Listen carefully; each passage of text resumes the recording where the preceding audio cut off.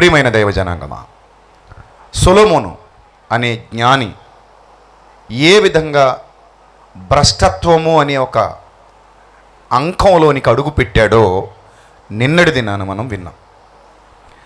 రాత్రికాల సమయంలో సులమోను కంటే గొప్పవాడు ఇక్కడ ఉన్నాడు అనే ప్రసంగాన్ని మీరు విన్నారు. అవును సులమోను కంటే గొప్పవాడు సులమోను సాధించని విజయాలు సాధించినవాడు సొలమోను ఎరుగని జ్ఞానాన్ని బోధించినవాడు యేసుక్రీస్తు అనే సత్యాన్ని కూడా మనం రాత్రి నేర్చుకున్నాం. ఇక ఇప్పుడు మనం తెలుసుకోబోతున్నటువంటి సంగతి సులమోను అలాగే నాశనం అయిపోయాడా దేవుడు అతన్ని అలాగే వదిలేశాడా? మీరు గమనించండి దేవుడు ఎవరినీ విడిచిపెట్టేవాడు కాడు. సాతాను ఎంతగా మనల్ని నాశనం చేయాలని ప్రయత్నం చేస్తాడో దేవుడు అంతగా మనల్ని కాపాడుకోవాలని ప్రయత్నం చేస్తాడు. దుష్టుడు అగ్నిబాణాలు ఎలాగైతే మన మీద వేస్తుంటాడో దేవుడు తన ఆత్మఖడ్గముతో వాటిని తిప్పుకొడుతూ ఉంటాడు. పలుమార్లు నన్ను పడగొట్టాలని చూశాడు అపవాది నిన్ను పడగొట్టాలని చూస్తాడు అపవాది. అంతెందుకు? మన అన్న పౌలు భక్తుడు ఏమన్నాడో తెలుసా? కపట సహోదరుల వలనైన ఆపదలలో దొంగల వలనైన ఆపదలలో అన్యజనుల వలనైన ఆపదలలో సముద్రము వలనైన ఆపదలలో నదుల వలనైన ఆపదలలో అనేక మార్లు ప్రాణాపాయములలో ఉపవాసములలో జాగరణములతో ఉంటిని. ఇన్ని శోధనలు వేదనలు బాధలలో సాతాన్ ఏమంటాడు తెలుసా? అవసరమా? ఇదంతా అవసరమా? ఇదంతా అవసరమా? కొన్ని సందర్భాల్లో చదువుతున్నప్పుడు అనిపిస్తుంది పౌలు పౌలు లాంటి సేవకుడికి కూడా కపట సహోదరులు ఉన్నారా అనిపిస్తుంది. అంత నీతిమంతుడు అంత యథార్థవంతుడు ఎన్నో బాధలు భరించినవాడు. అంటే కపట సహోదరత్వం అనగానే ఆయనతో ఉంటూనే ఘనత కోరి ఇంకేదో కోరి ఆయనకు వెన్నుపోటు పడవడం లేదా ఆయన గురించి చెడ్డగా ప్రచారం చేయడం ఆయన గురించి తప్పుగా చెప్పడం. ఇవన్నీ బయటవారు కాదు ఆయనతో పాటు ఉన్నవారు చేసి ఆయన్ని బాధించారట. మళ్ళీ అలా బాధించి బయటికి వెళ్ళి వాళ్ళు సువార్త ప్రకటిస్తున్నారట. ఆ దుర్మార్గపు స్వభావాన్ని అణిచిపెట్టుకుని అప్పుడు అంటాడు పౌలు కక్ష చేత కానీ మిసచేత కానీ ఏ విధము చేత నేను నువ్వు క్రీస్తు ప్రకటింపబడుతున్నాడు? పోనీ అన్నాడు. పోనీ. అలాంటి బాధలు ఉన్నాయి అలాంటి కష్టాలు ఉన్నాయి చెరసాలకు వెళ్ళాలట చెరసాల్లో పెట్టించారు. జైల్లో ఉన్నాయి బొండలు వేసి బిగిస్తున్నారు. అలాంటి సందర్భాల్లో కూడా ఆ బాధలు భరించాడు ఆ ఇబ్బందులు భరించాడు ఆ కష్టాలు భరించాడు కానీ ఏనాడు క్రీస్తునైతే విడువలది అందుకే రోమాపత్రికలు అంటాడు. ఖడ్గమైనను క్షామమైనను హింసైనను ఉపద్రవమైనను క్రీస్తు యేసు యొక్క ప్రేమ నుండి మమ్మ మమ్ములను ఎడబాపనేరవు అలాంటి ప్రేమ ఆయన దగ్గర మేము పొందుకున్నాం కనుక ఆయన్ని అది మమ్మల్ని విడిచిపెట్టట్లేదు. సింహం యొక్క నోట నుండి నన్ను తప్పించిన దేవుని ప్రేమ అన్నాడు. ఇప్పుడు ఒక్కసారి ప్రభు ప్రేమను రుచి చూచిన తర్వాత అంటే నేనేమంటానంటే ఒక్కసారి నా నీ గర్భములో నుండి బిడ్డ పుట్టిన తర్వాత ఆ బిడ్డను ఆ బిడ్డను పోగొట్టుకోవడానికి నువ్వు చూస్తావా? చూడవు. అంతెందుకట? పది నాణ్యాలు ఉన్నాయట. ఒక్క నాణ్యమే తప్పిపోయిందట. తొమ్మిది నాణ్యాలు జేబులో ఉన్నాయి కదా అని ఆనందపడలేదట దేవుడు. ఆ స్త్రీని పోల్చుకుంటుంది ఆయనతోనే. తొమ్మిది నాణాలు ఉన్నాయి కదా పోనీలే అని ఆనందపడలేదట. ఆ తప్పిపోయిన అంటే తప్పిపోయిన అంటే దొరికిపోయింది అది. దొరికి మళ్ళీ పోయింది దొరికిపోయింది. తనదే పోయింది తనదే పోయింది. ఆ ఒక్క దాని కోసం ఆశగా వెతికాడట. ఆ ఒక్క నాను సులముని ఎందుకు కాకూడదు? ఇలా మీరు ఎందుకు ఆలోచించకూడదు? ఏదో ఒక రోజు ఒక ప్రసంగికుడు మాట్లాడుతూ అంటున్నాడు సొలమోను భ్రష్టుడైపోయాడు నరకానికి పోయాడు అతడు మారు మనస్సు పొందినట్టు బైబిల్లో రాయబడలేదు అన్నాడు. అతనికి తెలిసింది అదే. అరే నాయన బైబిల్లో అన్నీ రాయబడలేదు. బైబిల్లో అన్నీ రాశాడండి. అన్నీ రాయలేదండి. కొంత అచ్చట కొంత ఇచ్చట యహో వాక్యము మీకు వచ్చును వెతకండి దొరుకుతాయి. అర్థాలు దొరుకుతాయి పరమార్థాలు దొరుకుతాయి వెతకండి. ఒకటే ఆలోచించండి అంత గొప్పోడైన సొలమోన్ని చివరిదాకా దేవుడు పోరాడతాడా వదిలేస్తాడా? చెప్పండి. పోరాడతాడా వదిలేస్తాడా? పోరాడతాడు. మీ బిడ్డల విషయంలో మీరు ఏం చేస్తారండి? ఎప్పటిదాకా పోరాడతారు? చివరిదాకా పోరాడతారు. ఎందుకంటే మీ బిడ్డ మీ గర్భాన్ని పంచుకొని పుట్టిన మీ బిడ్డ నశించిపోవటం మీకు ఇష్టం లేదు కనుక ఏం చేస్తారు? పోరాడుతూనే ఉంటారు. పోరాటం ఆపరు. దేవుడు కూడా అంతకంటే ఎక్కువ ప్రేమ గలవాడు గనుక సులమోను కొరకు పోరాడుతూనే ఉన్నాడు. సాతాను హమ్మయ్య కాయిన్ దొరికేసింది అనుకుంటున్నాడు దేవుడు no no no that is my coin that is his my child he was my child ఆయన అతడు నా కుమారుడు. అది నా కాసు నా నాణెము అది పోకూడదు. అలాగే వంద గొర్రెలు ఉన్నాయట ఒకటే తప్పిపోయిందట. ఆ తప్పిపోయిన గొర్రె సులమోనని మీరు ఎందుకు అనుకోకూడదు?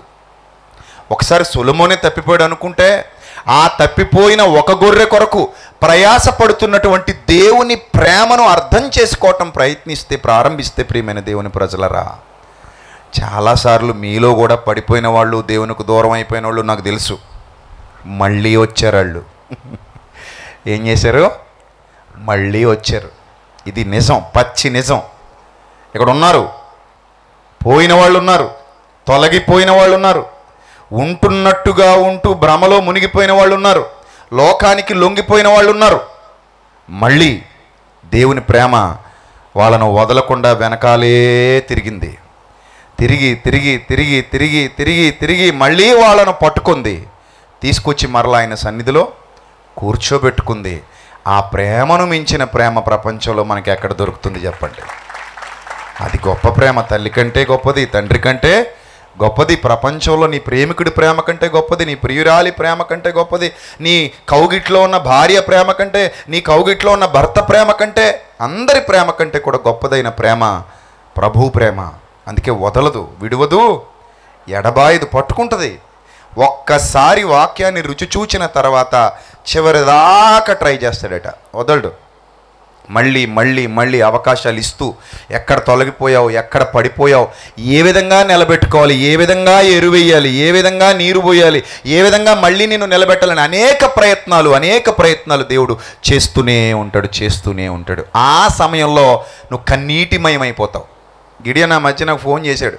ఫోన్ ఎత్తగానే ఏడుస్తున్నాడు. ఏమి ఏడుస్తున్నావు అంటే సెన్సిటివ్ బాగా. ఏడుస్తున్నాడు. ఎందుకు ఏడుస్తున్నావు అంటే లేదన్నా తర్వాత మాట్లాడతానన్నా అన్నాడు. తర్వాత మాట్లాడతానన్నా. కాసేపు నాకు సమయం కావాలి. అప్పుడు ప్రార్థనలో ఉన్నాడట ఏడుస్తున్నాడు బాగా. పట్టుకుంది దేవుని ప్రేమ లేకపోతే ఏం రాదు. ఏడుపు ఎందుకు వస్తుంది? మనమే మనం మనం చిన్నోళ్ళమా? బండలం. ఈ బండ బద్దలై నీరు రావాలంటే ఆ వాక్యం అనే కర్రతో ఒకటి బాధాలి అప్పుడు అది పగిలి అందులో నుంచి ఏమొస్తుంది కన్నీళ్ళు ఉబుకుతాయి కన్నీళ్ళు వస్తాయి ఏడుపు వస్తుంది బాధ వస్తుంది. దుఃఖం వస్తుంది. అందుకే దైవచిత్తానుసారమైన దుఃఖము రక్షణార్థమైన వారు మనస్సును కలుగజేయను దేవుని చిత్తంలో కొన్ని ఉంటాయండి అవి మనకు తెలియవు. దేవుడు కొన్ని సందర్భాల్లో కొంతమందిని కొన్ని దారులు గుండా నడిపిస్తుంటాడు. అలా నడిపించడం ఆయన చిత్తమే. మనం అనుకుంటాం వాడేదో తప్పు చేస్తున్నాడు వాడేదో పాపం చేశాడు అనుకుంటాం కానీ కొన్ని సందర్భాల్లో వదిలేసి మరలా ఏం చేస్తాడు? పట్టుకుంటాడు. అప్పుడు వదిలేసింది ఎందుకు మళ్ళీ పట్టుకోవడానికే. ఆ వదిలేసింది ఎందుకు నీ ద్వారా ఏదో పాఠం ప్రపంచానికి నేర్పించడానికే అర్థమైందా? మీకు ఒక విషయం తెలుసా? సంసోన్ ఒక అమ్మాయిని లవ్ చేశాడు తెలుసా? సంసోన్ ఒక అమ్మాయిని లవ్ చేశాడు. ఫిలిస్తీన్ అమ్మాయిని. బైబిల్లో నాకు ఆ విచిత్రమైన మాట అనిపిస్తుంది. ఆ అమ్మాయిని లవ్ చేయాలన్న ప్రేరేపణ ఎక్కడి నుంచి వచ్చిందో తెలుసా? చూడండి ఒకసారి న్యాయాధిపతుల గ్రంథం పద్నాలుగో అధ్యాయం. మొదటి మొదటి మాట నుంచి చదువుదాం. సంసోను తిమ్నాథ్కు వెళ్ళి తిమ్నాథ్లో ఫిలిస్తీన్ల కుమార్తెల్లో ఒకతని చూచాడు. అతడు తిరిగి వచ్చి తిమ్నాథ్లో ఫిలిస్తీన్ల కుమార్తెలో ఒకతని చూచి తిని మీరు ఆమెను నాకిచ్చి పెళ్ళి చేయండి అని తల్లిదండ్రులతో అన్నాడట.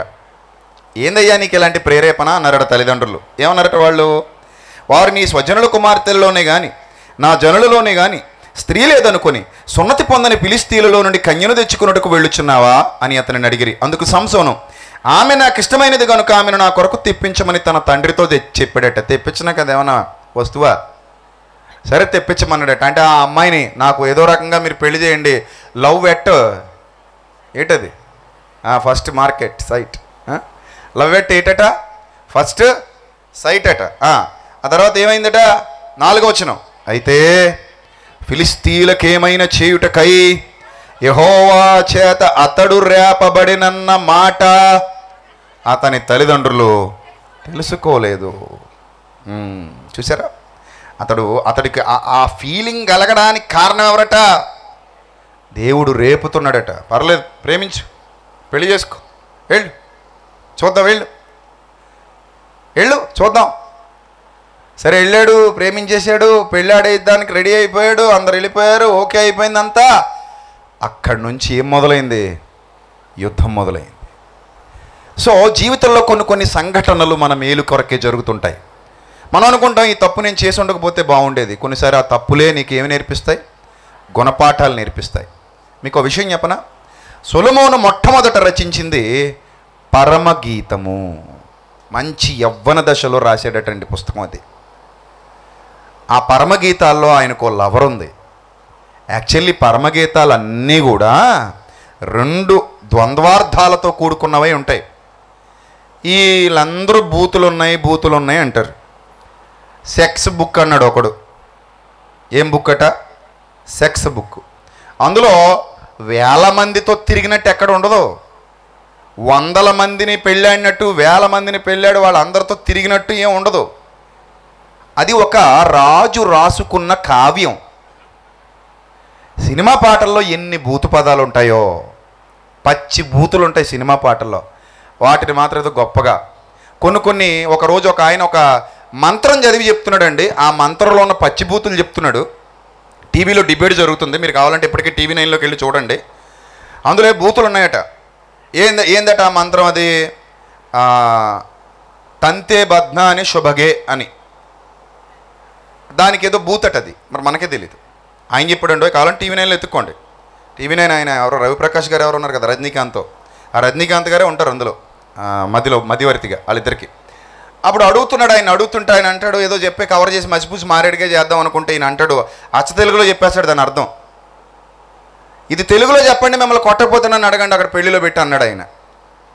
ఆయన మాట్లాడలేదు. ఆయన ఏదో కవర్ చేద్దామని చూశాడు కానీ వర్కౌట్ అవ్వలేదు.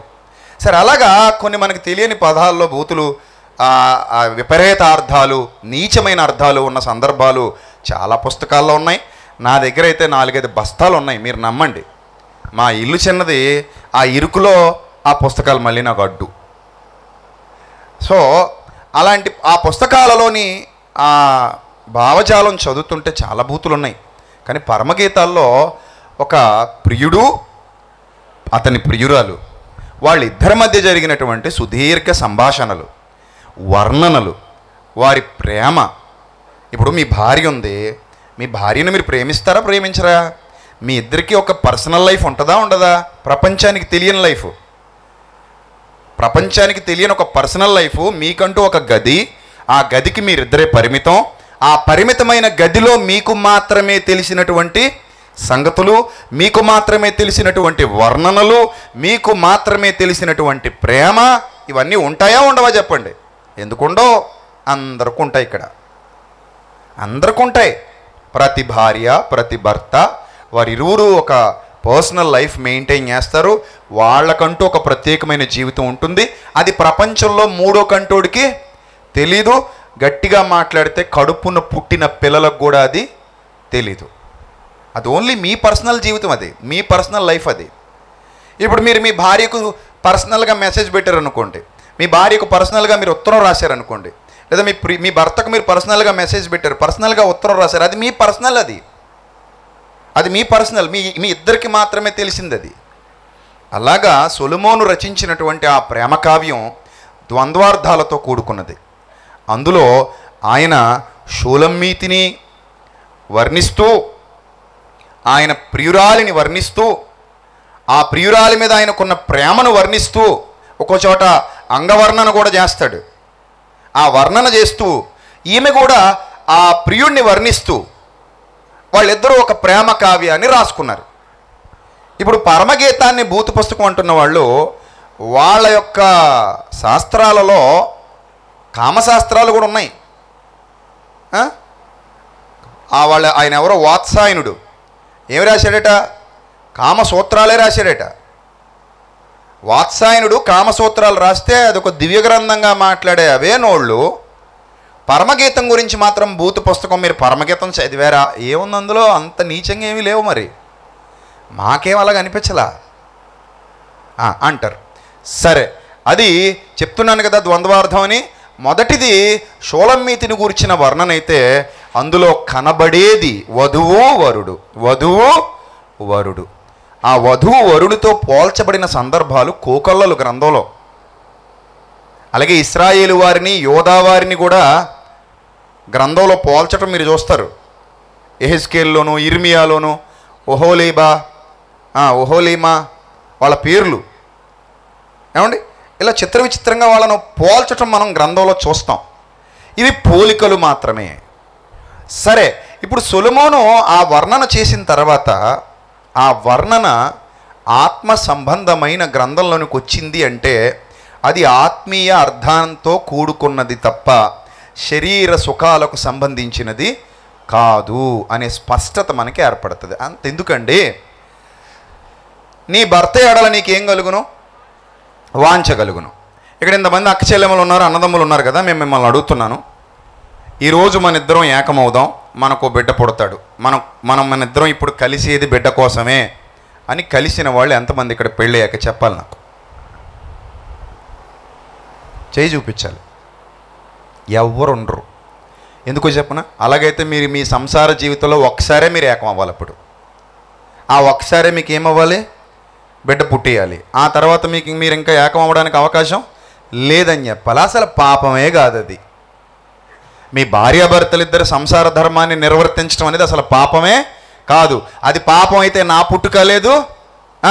ఇక్కడ కూర్చున్నా నీ పుట్టుక లేదు. ఎవరి పుట్టుక లేదు. కానీ దేవుడు ఏమన్నాడు నీ భర్త ఎడల నీకు వాంఛ కలుగును.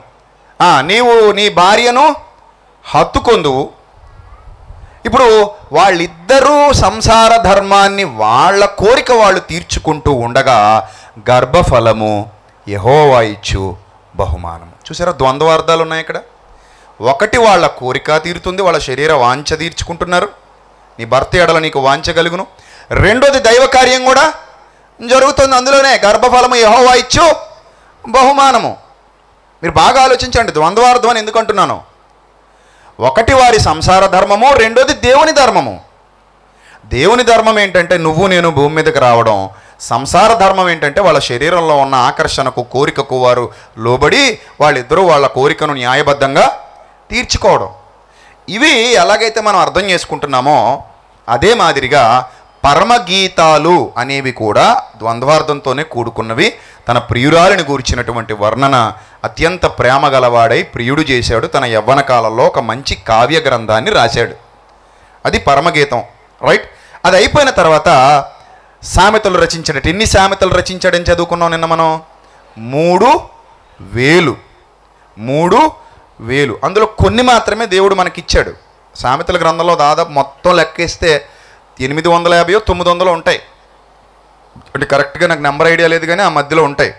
సో తర్వాత మీరు మొత్తం వచనాలు లెక్క పెట్టి నాకు చెప్పండి. ఒక వచనంలో రెండేసి ఉంటే అవి కూడా లెక్క పెట్టండి. మరి కొంచెం టైం పడుతుంది. సో అంతే అవుతుంది. సో మిగిలినవన్నీ మనకు అవసరం లేదు.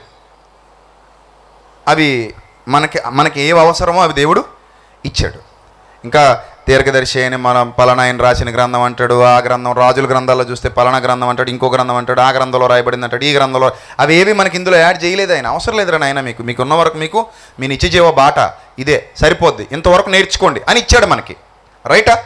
రైట్. ఇప్పుడు ఈ సామెతలు అనుక్రమపరిచిన తర్వాత సామెతలు రచించిన తర్వాత ఆయన చిట్ట చివరిగా చిట్ట చివరిగా లాస్ట్ అండ్ ఫైనల్ రాసినటువంటి దివ్య గ్రంథం ప్రసంగి.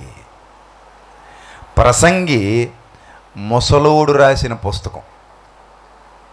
మూడు భాగాలు చేశాం. ఒకటి యవ్వనుడు రాసింది పరమగీతమైతే.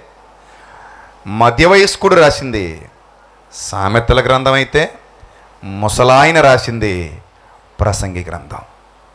ఇప్పుడు ఈ మూడు రివర్ రివర్స్లో పెట్టామనుకోండి ముసలాయనికి పరమగీతాలు ఇచ్చి మధ్యలో ఇది ఓకేలేండి. ఇది అలాగా మధ్యలోనే ఉన్నాడు కదా అటు తిప్పి తిప్పిన ఇక్కడికి ఏమవుతుంది సామెతలే వస్తుంది.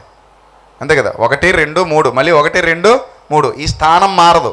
ఈ స్థానం ఈ స్థానం ఒకళ్ళు మార్చామనుకోండి ముసలాయనికి ఏమో పరమగీతాలు ఇచ్చి పొడిసాయనికి ప్రసంగించామనుకోండి ఎంత సికాగ్గా ఉంటుందంటే ఇది ఈయన సబ్జెక్ట్ కాదు ఇది ఈయన సబ్జెక్ట్ కాదు. బాగా అర్థం చేసుకోండి. ఇదేమో ముసలాయిందేమో పరమగీతాల సబ్జెక్ట్ కాదు. భౌతికంగా. పొడిచాయిందేమో ప్రసంగి సబ్జెక్టు కాదు. భౌతికంగా. అందుకే ఈయన వృద్ధుడైపోయిన తర్వాత రాశాడు. ఎలా రాశాడు? అనుభవాల సారాన్ని రాశాడు. మీరు అబ్జర్వ్ చేశారో లేదో నేను చెప్పాను కదా చాలాసార్లు చెప్పాను నాకు ఎప్పుడైనా బైబిలు ఆదరించాలి నేను ఆదరించబడాలి బైబిల్తో అని అనుకున్నప్పుడు నేను తీసే మొట్టమొదటి పుస్తకం ప్రసంగే. అదేదయ్యా నీకు అంత పిచ్చి అంటే నాకు ఏమో తెలీదు. అలా కనెక్ట్ అయ్యాను నేను. కొంతమంది కీర్తనలు చదువుకుంటారు మనసు ప్రశాంతంగా ఉంటుందట. నాకు మనసు ప్రశాంతంగా ఉండాలంటే నేను చదువుకునేది మాత్రం ఎప్పుడూ ప్రసంగే చదువుకుంటాను. సో ఆ ప్రసంగిని నేను ఏమంటానంటే స్వీయ చరిత్ర అంటాను. ఏంటట? స్వీయ చరిత్ర అక్కినే నాగేశ్వరరావు గారు స్వీయ చరిత్ర రాశారు. అలాగే చాలామంది స్వీయ చరిత్ర రాశారు వాళ్ళ స్వీయ చరిత్రలు. పివి నరసింహారావు గారు కానీ అబ్దుల్ కలాం గారు కానీ తర్వాత మహాత్మా గాంధీ గారు కానీ వీళ్ళందరూ కూడా తమ స్వీయ చరిత్రలు రాశారు. స్వీయ చరిత్రలు అంటే అర్థం ఏంటి? డెబ్భై ఎనభై ఏళ్ళు వచ్చాక రాయాలి. ఇప్పుడు మా మా విశ్వాన్ని స్వీయ చరిత్ర రాయంటే దరిద్రంగా ఉంటుంది. ఆడేం రాస్తాడు? ఇంకా మొదలవన జీవితం అది. మొదలయ్యే జీవితాలు స్వీయ చరిత్రలు రాయవు. మరి ఎవరు రాస్తారు? ముగిసిపోయే జీవితాలలో నుండే స్వీయ చరిత్రలు వ్రాయబడతాయి. అంటే ప్రసంగి ముగిసిపోయే జీవితం పాడిన ఒక అందమైన మధురమైన పాట. నా కోరిక ఏంటంటే చాలాసార్లు దేవుణ్ణి అడిగాను తండ్రి ప్రసంగి గ్రంథం మొత్తం ఒక్క పాటలో నేను చెప్పగలగాలి. ఆ పాటలో చెప్పగలిగే జ్ఞానం ఇవ్వు తండ్రి. దానికి చిత్రీకరణ కూడా చెయ్యాలి. కానీ చాలా వరకు కష్టపడడం. ఇంకా బాగా చేయొచ్చు టైం లేదు. మూడు నాలుగు రోజులు టైం ఇచ్చి పాట తీసేయంటే పాపం వాళ్ళు చాలా కష్టపడ్డారు కుర్రాళ్ళు. రాత్రి అనక పగలనక నిద్ర లేకుండా బాలు ఈ సుధా ఈ టీం అంతా కూడా చాలా కష్టపడ్డారు అందరూ కూడా. రాత్రి రాత్రి మూడున్నర అయ్యింది ఒక రోజు నాకు. మళ్ళీ పొద్దునొచ్చి వాకింగ్ చెప్పా. అంతకు ముందు రోజు నాలుగు అయింది ఈ పాట గురించే. ఆ రోడ్ల మీద పడితే తెల్లవారి. అందరూ చిత్ర విచిత్రంగా చూసేవారు. ఎవరు రైళ్ళు కొరివి దెయ్యాలాగా రోడ్ల మీద తిరుగుతున్నారు ఈ టైంలో. మేము బోకు బోకులు అనుకుంటున్నారు వాళ్ళు.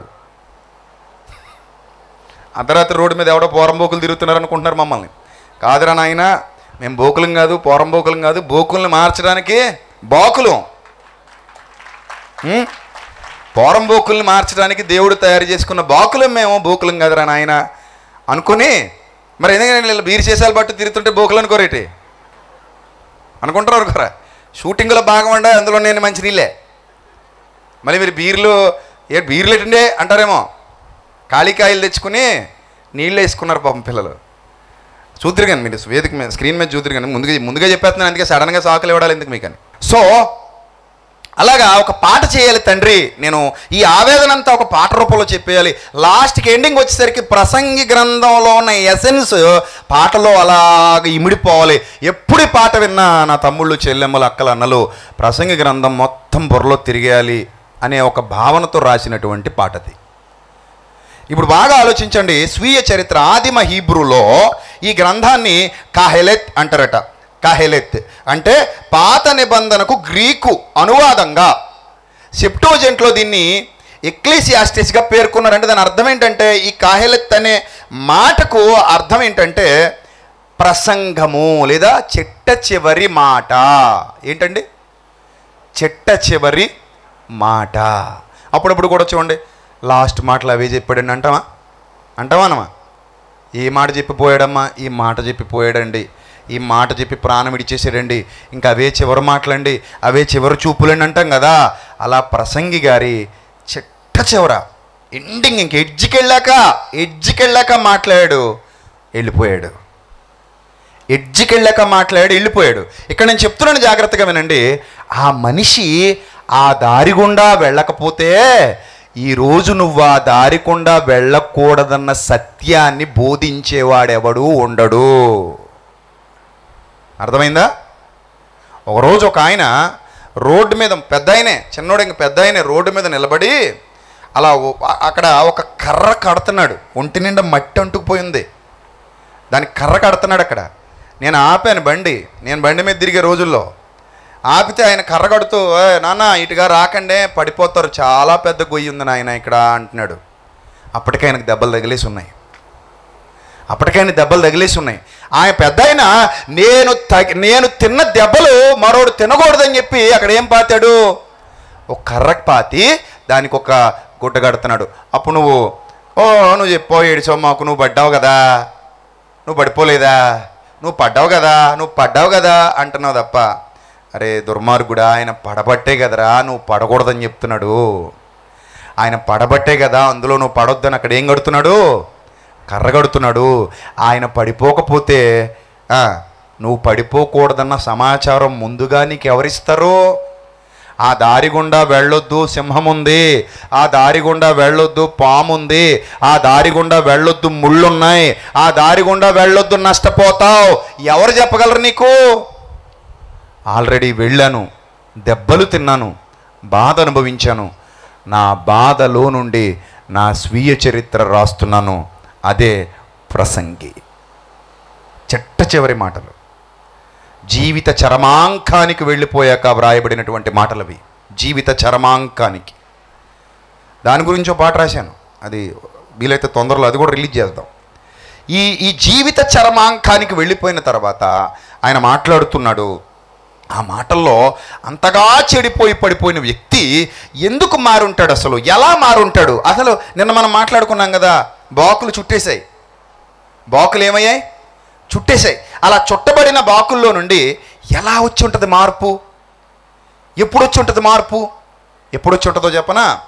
పడిపోయిన నాణ్యం కోసం దేవుని ప్రేమ వెతుకుతున్నప్పుడు పదే పదే పదే పదే పదే పదే ఆ ప్రేమ తలుపు తడుతున్నప్పుడు ఆ ప్రేమ పిలుస్తున్నప్పుడు ఆ ప్రేమ వెంటాడుతున్నప్పుడు ఆ ప్రేమ వెంబడిస్తున్నప్పుడు ఏదో ఒక సమయంలో ఒక బాధాకరమైన పరిస్థితిలో ఆ పరిస్థితి వస్తుంది.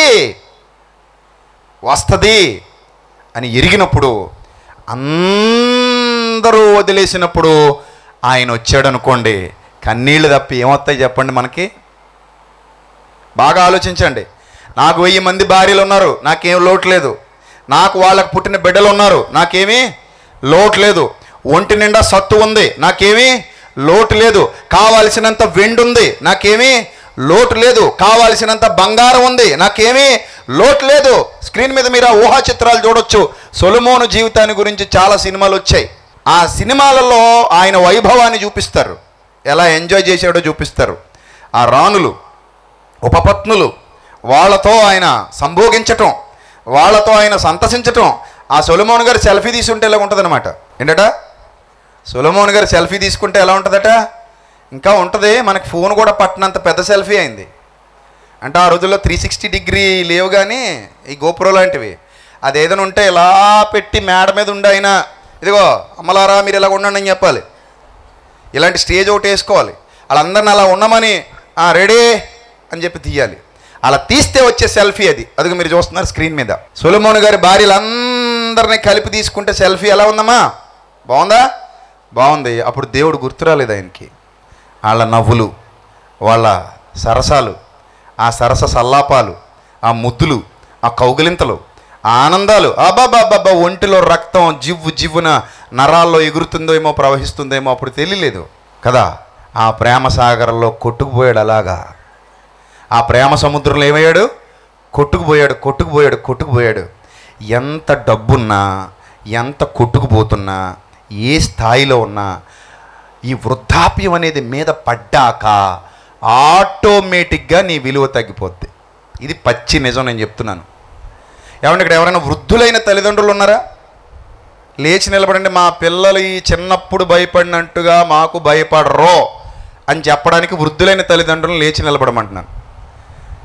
మా పిల్లలు చిన్నప్పుడు భయపడినట్టుగా ఇప్పుడు మాకు భయపడరు అనే చెప్పగలిగే ధైర్యం ఉన్న తల్లిదండ్రులు ఎవరైనా ఉన్నారా? ఒకళ్ళు ఎవరో లేకపోతే మా నాన్నగారిని నిలబెట్టేయండి మరి. నేను అన్నది మీకు అర్థమైందా? ఎవరూ లేకపోతే ఎవరు నిలబెట్టమంటున్నాను? మా నాన్నగారిని నిలబెట్టమంటున్నాను ఎందుకో చెప్పనా? చిన్నప్పుడు నేను ఆయనకి ఎంతో భయపడిపోయేవాడిని. ఇప్పుడు అస్సలు భయపడను. ఎందుకు భయపడినంటే నాకు రెక్కలు వచ్చాయి నేను ఎక్కడో ఎగురుతున్నాను. ఆయన ఇప్పుడు ఎరా అన్నం వాళ్ళకి అని టెప్ మీద కొట్టడానికి అవకాశం లేదు. నేను ఒలకపోసినా ఏమంటాడు? ఎరా నాయన అన్నం ఒలకపోసావేటి ఏమైంది? అంటాడు తప్ప చిన్నప్పుడు ఎందుకురా అన్నం ఒలకపోసావు నువ్వు? అంటాడేటి అంటాడా? అనలేడు. ఎందుకంటే మన రేంజ్ పెరిగిపోయింది.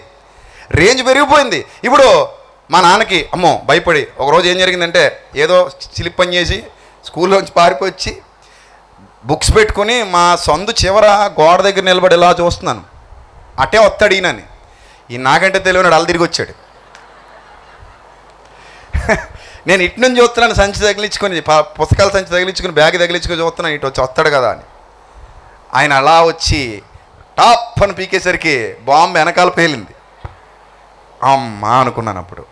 ఇప్పుడు అవుతుంది అలాగా? అయిపోయింది ఆ రోజులు ఆ కథలు ముగిసిపోయాయి. మీ పరిస్థితి కూడా అదే. ఇప్పుడు నా దగ్గర డబ్బు ఉండొచ్చు వెండి బంగారాలు ఉండొచ్చు ఆస్తి ఉండొచ్చు అంతస్తు ఉండొచ్చు ఏదైనా ఉండొచ్చు నేను రాజునై ఉండొచ్చు. మంచం పట్టేసిన తర్వాత నా కొడుకు నాకు భయపడ్డు. ఇది పచ్చి నిజం. ఇది పచ్చి నిజం. నా భార్య నాకు భయపడదు. నా మీద ఆధారపడ్డోళ్ళు ఎవరు కూడా నాకు భయపడరు. ఎందుకంటే గట్టిగా మాట్లాడితే తరగడ మీద వేసిపోతారు తడిపేసి. రగ్గు తడిపేసి మొహం మీద వేసిపోయారు అనుకోండి పొద్దునకి సాధారణ మరణంలాగా ఉంటుంది అది. అప్పుడు అందరూ వచ్చినప్పుడు ఏమంటారు అయ్యో పాపం ముసలోడు కదండి ఏమైందండి? గుండె ఆగిపోయిందండి. మరి రగ్గు తరపు మీద వేసారు కదండి అది చెప్పరండి. అయిపోయింది అంతే అయిపోయింది జీవితం. నేనేం చేయలేను లేవలేను కొట్టలేను తిట్టలేను ఖండించలేను. ఇప్పుడు రమ్మనండి ఎవరొస్తారు నా దగ్గరికి? రారు పడిపోద్ది. ఇప్పుడు రారు ఇప్పుడు నా దగ్గర వస్తారు? నేను నేను నేను రోషంగా ధైర్యంగా సింహంలా నిలబడి ఉంటే ఎవరు నా ముందుకు వచ్చి నన్ను ఎదిరించేది? ఎందుకు? అరికాలు మొదలుకుని నడినెత్తి వరకు నాకేముంది ఇప్పుడు? పవర్ ఉంది. నేను మాట్లాడగలను పోరాడగలను ఏమైనా చేయగలను నన్ను నేను గెలిపించుకోగలను. ఆమె ఫైటర్ అంటాను. ఒక రోజుకి వచ్చేసరికి ఏమంటాను? ఆమె fighter but one day close my chapter ఏంటట? చాప్టర్ ఏమైపోయింది? క్లోజ్ ఇప్పుడు నేను ఫైటర్ని కాదు. చాప్టర్ ఏమైపోయింది? క్లోజ్ అయిపోయింది. ఇప్పుడు సొలమోన్ గారి చాప్టర్ కూడా క్లోజ్ అయిపోయింది. ఇప్పుడు అదే భార్యల గురించి ఇప్పుడు సెల్ఫీ చూశారు సెల్ఫీ తీసుకున్నాడు కదా. ఇదే భార్యల గురించి ఏమన్నాడు తెలుసా? ఆ వయసులో ఎక్కడ ఇతనిలో మార్పు వచ్చింది అన్న నా పరిశోధనలో బైబిల్ పరిశోధనలో మీకు దొరికే అమూల్యమైన వచనం అది. చూడండి ఒకసారి ప్రసంగి గ్రంథం ఏడవ అధ్యాయం ఇరవై మూడో వచనం. ఇది అంతయు జ్ఞానము చేత నేను శోధించి చూచితిని జ్ఞానాభ్యాసము చేసుకుందునని నేను అనుకుంటుని కానీ అది నాకు దూరమాయను. సత్యమైనది దూరంగా ఉంది. బహులోతుగా ఉంది. దాని పరిశీలన చేయగలవాడు ఎవడు? బా. సత్యమైనది బహు దూరంగా ఉంది. లోతుగా ఉంది. వివేచించుటకు పరిశోధించుటకు జ్ఞానాభ్యాసము చేయుటకై. సంగతుల యొక్క హేతువులను తెలుసుకున్నట్టుకు సంగతుల యొక్క హేతువులు. ఏ సంగతికి ఏంటి కారణం? దేనికి ఏంటి కారణం? ఇంతమంది అమ్మాయిలు నా చుట్టూ తిరగడానికి గల కారణం ఏంటి? నేను గాలిలో అయితే తిరుగుతారా? తిరగరు. నేను ప్లాట్ఫామ్ గాడిని అయితే తిరుగుతారా? తిరగరు. నా దగ్గర డబ్బు లేకపోతే తిరుగుతారా? తిరగరు. నా దగ్గర అందం లేకపోతే ఈ రాజకుమార్తెలను పెళ్ళి చేసుకుంటారా? చేసుకోరు. నా దగ్గర జ్ఞానం లేకపోతే ఈ రాజులు నాకు పిల్లనిస్తారా? ఎవ్వరో. ఇవన్నిటికి బదులు అరికాలు మొదలుకొని నడినెత్తి వరకు నా ఒంటిలో సత్తువ లేకపోతే అమ్మాయి నన్ను ఇష్టపడుతుందా? ఇష్టపడదు. ఇవన్నీ బుర్రలో తిరిగాయి. తిరిగిన తర్వాత చూడండి భక్తిహీనత బుద్ధిహీనతనియు బుద్ధిహీనత వెర్రితనమనియు గ్రహించుటకు అబ్బాబాబాబా ఎంత బాగుందండి మాట. భక్తిహీనత ఏటది బుద్ధిహీనత వలన భక్తిహీనత వస్తుందట. అసలు బుద్ధిహీనత ఎందుకు వస్తుందట? వెర్రితనం వల్ల వస్తుందట. వెర్రి ఎప్పుడు పొడొద్దట. లోకాన్ని చూసినప్పుడు పొడొద్దట. బాగా అర్థం చేసుకోండి. మంచి ఆహారం ఇది. ఇప్పుడు పెట్టే చికెన్ బిర్యానీ ఉంది దిక్కుమాల బిర్యానీ. అది కాదు. ఇప్పుడు తింటారు మీరు. అది అది పక్క తోసేయండి. ఇది అసలు బిర్యానీ మీరు తింటున్నారు ఇప్పుడు. This is the real biryani. అది బావార్చియా ప్యారడైసా గాడిది గుడ్డ ఏదైనా సరే దీని ముందు సరిపోతుంది ఇది అసలు బిర్యానీ.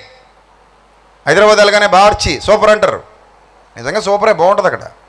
లేదా ప్యారడైజ్ సూపర్ అంటారు. అది కాదు. జుంటి తేనె ధారల కంటే మధురం మొన్న ఎవరో చెప్పారు కదా జాన్విశ్లీ అని అంట అనుకుంటాను. కొవ్వు మెదడు దొరికినట్టు? దొరికిందని అంటే ఆయన అంటాడు దావిది గారికి ఇష్టమైన ఫుడ్ పేరు చెప్పి. ఆయనే కదా చెప్పారు? ఆయనే చెప్పారు. ఒక్కళ్ళు కూడా తలోపట్లేదంటే ఆయన చెప్పింది ఎప్పుడండి? అది అప్పుడే అరిగిపోయింది. బహిర్భూమిలో వెళ్ళిపోయింది అంటే ఇక్కడ అరిగిపోయి ఇక్కడ నుంచి ఎప్పుడో వెళ్ళిపోయింది అంతేనా? ఇప్పుడు ఈ ప్రసంగం కూడా అలాగ వదిలేసిపోతారు. అలాంటప్పుడు ఇంత కష్టపడడం ఎందుకండి? ఇలా వదిలేసిపోతే ఇంత కష్టపడి గొంతు నొప్పులు వచ్చేస్తాను నిలబడి మూడున్నరకి ఇంటికి వెళ్ళి మళ్ళీ ఒక గంట రెండు గంటలు బైబిల్ పట్టు కూర్చొని రేపు పొద్దున పిల్లలందరూ వచ్చేస్తారు. చక్కగా ఇంగ్రీడియంట్స్ అన్నీ వేసి ఎలా ఎలా బోధించాలి ఎలా ఉపదేశించాలి ఎలా స్టార్ట్ చేయాలి ఎలా ముగించాలి ఎలా నేర్పించాలి వీళ్ళ హృదయాల్లో గుర్తుండిపోయేలాగా ఎలా నాటాలి అని ఒక ప్రసంగికుడు పడే కష్టం మీకు తెలీదు. మీరు ప్రసంగికులు అయితే తెలుస్తుంది ఆ కష్టం. అర్థమైందా? ఏవో డొల్ల ప్రసంగాలు చేసుకుని బతికేసేటోళ్ళు ఉంటారు. వాళ్ళకి ఇంకా అదేం ఉండదు. ఏదో ఒకటి సోది చెప్పిపోతారు వాళ్ళు. అది అది నిజం కాదు అది అది కష్టం కాదు అది. నువ్వు నలగాలి. ముందు ప్రసంగ పీఠానికి వెళ్ళడానికి ముందు నువ్వు కష్టపడాలి నువ్వు శ్రమపడాలి. నువ్వు తర్పీదు పొందాలి. నువ్వు చాలా చాలా చాలా గ్రౌండ్ వర్క్ చేయాలి. ఆ గ్రౌండ్ వర్క్ చేసి రావాలి యుద్ధరంగంలోనికి ఎందుకంటే నీ ఆలోచనల్ని ఆడు పట్టుకుపోవాలని చూస్తుంటాడు. వాడు పట్టుకుపోకుండా నిన్ను శ్రద్ధగా నిలబెట్టాలి. నేను అనుకుంటాను నేను వాక్యం చెబుతున్నప్పుడు కాన్సన్ట్రేషన్గా వినేలాగా నేను మాట్లాడగలగాలి. ఎవరు లేవకుండా కూర్చోబెట్టి కూర్చోబెట్టగలిగే విధంగా వాళ్ళకి వెంట వెంటనే వెంట వెంటనే రుచికి రుచికి రుచి రుచి రుచిగా అందించేస్తున్నాం అనుకోండి. వాళ్ళు ఏం చేస్తారు? తినే క్రమంలో ఎవడు నిద్రపోడండి. ఇప్పుడు వెళ్ళి బిర్యానీ తింటారు వాసన ఇక్కడ కొడుతుంది. బాగుంది. ఎవడు నిద్రపోతాడేటి ఎవడు నిద్రపోడు? చక్కగా తింటాడు. దేవుని వాక్యం అంతకంటే గొప్పది. దేవుని వాక్యం అంతకంటే విలువైనది. రైట్? సో ఇక్కడ చూడండి ఈ బుద్ధిహీనతట వెర్రితనమని గ్రహించుటకు చివరికి ఏం చేసుకుని? కన్ఫర్మ్ చేసుకుని రూఢి. రూఢి చేసుకుని కన్ఫామ్ చేసుకుని నా మనస్సు అలా నిలబెట్టాడట ముసలాయన. మనస్సు అలా నిలబెట్టాడట. చూడండి. మరణము కంటే మరణము కంటే ఎక్కువ దుఃఖము కలిగించేది ఒకటి నాకు కనబడిందే అన్నాడు. మరణము కంటే ఎక్కువ దుఃఖము కలిగించేది ఒకటి నాకు కనబడింది. అది వల ఉరి మనస్సుకు వేసే బంధకం. అలాంటి చేతులు కలిగినటువంటి స్త్రీ అన్నాడు. అంటే మీరు కాదు మీరు అనుకున్నారు ఆ స్త్రీ అట ఈయన దగ్గర ఉందట ఆయన పాకెట్లో ఉందట. వలటది ఉరట. ఎక్కువ దుఃఖం మరణం కంటే కూడా ఎక్కువ దుఃఖం మిగిల్చిందట ఈయన బతుకులో. ఆ స్త్రీ అన్నాడు. అలాగని ఒక స్త్రీ అయినా బాబయ్య అంటే ఆయన అంటాడు కిందకి వెళ్ళాక దేవుని దృష్టికి మంచివారైన వారు దాన్ని తప్పించుకుంటారు కానీ పాపాత్ములైతే దానికి దొరికేస్తారు. పాపాత్ములైతే దానికి ఏమవుతారట? దొరికేస్తారట. అని అంటాడు అని అంటాడు ఇరవై ఎనిమిదో వచ్చినలో అదేదనగా నా బ్రతుకు కాలంలో వెయ్యి మంది పురుషుల్లో నేను ఒకడినైనా చూశాను కానీ ఆ వెయ్యి మంది స్త్రీలలో ఒక్కతిని కూడా చూడలేదు. అంతమంది అంటే ఎంతమంది అని వెయ్యి మంది. వెయ్యి మంది పురుషులలో నేను ఒకని చూచి తిని కానీ అంతమంది స్త్రీల్లో ఒకతిని చూడలేదు. ఇది ఒకటి మాత్రము నేను కనుగొంటిని. ఆ పై మాటను మీరు జాగ్రత్తగా అర్థం చేసుకోండి. వలల వంటిదై ఉరుల వంటిదై మనస్సును బంధకముల వంటి చేతులు కలిగినటువంటి స్త్రీ అన్నాడు. అంటే ఏ స్త్రీ కోసం అయితే ఈయన వెంపర్లాడాడో ఏ స్త్రీ కోసం అయితే దేవుణ్ణి కూడా వదిలేశాడో ఏ స్త్రీలైతే ఈయన మనస్సును తిప్పేశారో ఆ స్త్రీలు చివరకు వచ్చాక ఏం చేశారు? వదిలేశారు. ఎవరైనా వదిలేస్తారు. మిమ్మల్ని కూడా మీకు కూడా చెప్తున్నా. ఎవరైనా సరే కడదాక మనతో ఉండరు. ఎంత ప్రేమించే భార్య అయినా సరే సంవత్సరం పాటు మంచం మీద ఉంచి నీకు సేవ చేయాలంటే ఏదో టైంలో ఖచ్చితంగా ఏం చేస్తుంది? విసుక్కుంటుంది. ఆ విసుగు మాటకే నీకేమైపోద్ది గుండె? పగిలిపోద్ది. కొంతమంది సెన్సిటివ్ గాళ్ళు ఉంటారు. వాళ్ళు ముందే పగిలిపోతుంటారు. ఏదైనా చిట్ట చివరికి వెళ్ళేసరికి అవి తప్పుతాయా మనకి? తప్పో బిడ్డ. నాకు తప్పో? నీకు తప్పో.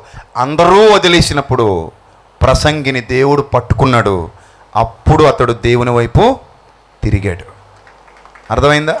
ఇప్పుడు మీరు కూడా గుర్తుపెట్టుకోండి దేవుని మాట తల్లి అయిన మరచునేమో నేను నిన్ను మరువను చూడుము నార చేతులలో నిన్ను చెక్కియున్నాను.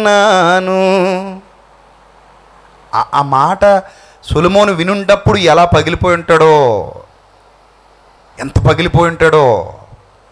లాస్ట్కి వెళ్ళేసరికి భార్యలు కనబడరు భర్తలు కనబడరు పిల్లలు కనబడరు ఒకే ఒకరు కనబడతారు. ఆయనే నీ నా పరలోకపు తండ్రి.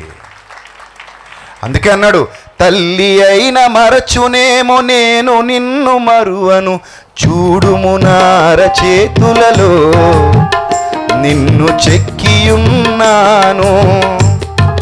నీ ప్రాణము తొట్టిల్ల నీయను నేను. నిన్ను కాపాడువాడు కుడుకనో నిదురపోను అని చెప్పి వాగ్దానం చేసిన నా దేవా. తల్లిలా ప్రేమించును తండ్రిలా లాలించును. ఇలా ఏ పదాలు మీరు చూసినా సరే ఏ పదాలు మీరు వెతికినా సరే ఆ తల్లి తండ్రి ఎవ్వని ఆదరణ భార్య ఎవ్వని ఆదరణ బిడ్డలు ఎవ్వని ఆదరణ. ఎవరిచ్చారట చివరి దశలో? దేవుడిచ్చాడు. అందుకే ఏదైతే వదిలొచ్చేసాడో మళ్ళీ దాని దగ్గరికి వచ్చాడు. ఏదైతే వదిలొచ్చేసాడో మళ్ళీ పరిగెత్తుకుంటే ఎక్కడికి వచ్చాడు మళ్ళీ ఆ ప్రేమ దగ్గరికే వచ్చాడు. ఆ ప్రేమకు బందీ అయ్యాడు. ఇప్పుడు అసలు పరమగీతం రాస్తున్నాడు. ప్రేమ గీతం రాస్తున్నాడు. ప్రేమ కావ్యం రాస్తున్నాడు. ఇప్పుడు అతనికి పరమగీతం అర్థమైపోయింది. ఈ పరమగీతంలో ఉన్నది దేవుడు ప్రియురాలి స్థానం సులమోనిది. అది యవ్వనంలో తెలియలేదు. ఎప్పుడు తెలిసింది? వృద్ధాప్యానికి వచ్చాక తెలిసింది. అందుకే ఉరులు వంటి వలల వంటి ఆ స్త్రీలు మరణము కంటే ఎక్కువ దుఃఖం కలిగించారట ఆయనకి. ఆ దుఃఖంలో నుంచే ఏం పుడతాయి? మారు మనసు పుడుద్ది. దుఃఖం దుఃఖం రావాలి. ఒక్కోసారి మనకి దుఃఖం రావాలి దెబ్బ తగలాలి. దెబ్బ తగిలినప్పుడే బుద్ధి వస్తుంది. అలా బుద్ధి వచ్చేసింది ఆయనకి. ఆ బుద్ధిలో నుండి స్వీయ చరిత్ర రాస్తున్నాడు. నన్ను అడిగి నన్ను అడిగితే నేను ఏమంటాను తెలుసా? జీవిత పరిశోధకుడు అంటానండి సొలమోన్ని. ఏమంటాను? జీవిత పరిశోధకుడు. ప్రపంచంలో చాలా పరిశోధనలు చేసేవాళ్ళు ఉన్నారు. జీవితాన్ని పరిశోధించిన ఏకైక మహా చక్రవర్తి సొలమోను. చక్కగా పరిశోధించాడండి జీవితాన్ని. చెట్ట చివర. నేను అన్నా- నేను అనుకున్నాను తండ్రి ఇది మంచిదే. ఏది? ఆయన బతుకులో జరిగినవన్నీ మంచివే. బాబు నువ్వు అలా పాడైపోవడమే మంచిది. నువ్వు అలా చెడిపోవడమే మంచిది. ప్రభు నిన్ను పట్టుకున్నాడు. అలా పాడైపోవడం వల్ల తర్వాత ప్రభు నిన్ను ఏం చేశాడు? పట్టుకున్నాడు. ఇప్పుడు మంచి స్థితిలోకి వచ్చావు. అందుకే నేను చెప్తున్నాను యవనస్తులారా పాడైపోయాం కదా. ఇంకా అలాగే ఉండిపోదాం అనుకోకండి. పాడైపోయిన స్థితిలో నుంచి బయటికి రండి. ఇదే దేవుని పిలుపు ఈ రోజు నీకు వినబడుతుందన్న సత్యాన్ని తెలుసుకోండి. తర్వాత నీ జీవితాన్ని ఎలా చేయబోతున్నాడో ఒక్కసారి ఆలోచించండి. మీ ఊహలకు అందదది నిజం చెప్తున్నాను. మీ ఊహలకు అందనంత ఉన్నతంగా ప్రభువు నిన్ను నిలబెట్టబోతున్నాడు. సొలమోనంతటి వాడే మారిపోయినప్పుడు మనషే అంతటి దుర్మార్గుడే మారిపోయి మంచివాడైనప్పుడు నిన్ను నన్ను ఆయనకు మార్చటం ఏమైనా అసాధ్యమా? కాదు. ఆ ప్రేమకు పట్టబడ్డాడు. ఇప్పుడు మీరు అనుకోవచ్చు నేను ప్రేమించిన నా ప్రియుడు నా ప్రేమికుడు నిన్న కాక మొన్న మూడు రోజులు అవుతుంది ఒక అమ్మాయి వచ్చింది ఇక్కడికి తీసుకొచ్చారు చెల్లెమ్మలు. అమ్మాయి మరి ఇక్కడ ఉందో లేదో. ప్రేమించిందట ఆ ఇల్లు వదిలిపోయిందట ఆడి ఇంట్లోంచి గెంటేశాడట. ఇప్పుడు రావద్దు అంటున్నాడట వాళ్ళ నాన్న నిన్ను వదిలేయమన్నాడట అందుకని వదిలేశాడట. ఇప్పుడు వచ్చి ఏడుస్తుంది. ఎంతమ్మా నీ వయసు అని అడిగాను. పద్దెనిమిదేళ్ళు పదిహేడేళ్ళు చెప్పింది. ఏందమ్మా ఈ వయసులో? అన్నాను. నీ పేరు చెప్పాలనే తల్లి కంగారు పడకు. అన్నయ్య నీ గురించి మాడేస్తున్నాడు అనుకుంటావేమో. నీకు మాత్రం నాకు మాత్రమే తెలుసు. ఇంకెవరికి తెలియదు నువ్వు ధైర్యంగా ఉండు. నేను అడిగాను నిన్ను నిజంగానే ప్రేమించాడా వాడు? అని అంటే అంటుంది. ఏమే ఏమి ఏం చెప్పగలవు నువ్వు ఇంకా? నీ దగ్గర సమాధానం లేదు.